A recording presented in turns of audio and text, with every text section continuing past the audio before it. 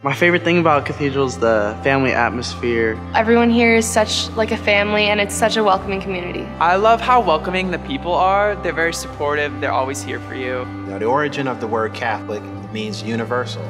It's for everyone, and this school is for everyone if you want to be here.